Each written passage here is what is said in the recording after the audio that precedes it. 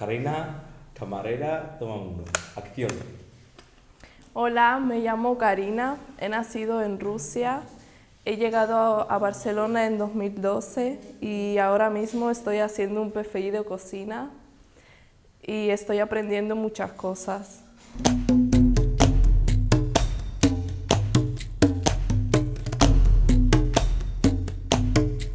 Tiempo libre me gusta pasarlo con mis amigos o con mi familia. También me gusta eh, nadar y me gusta mucho ver películas y escuchar música.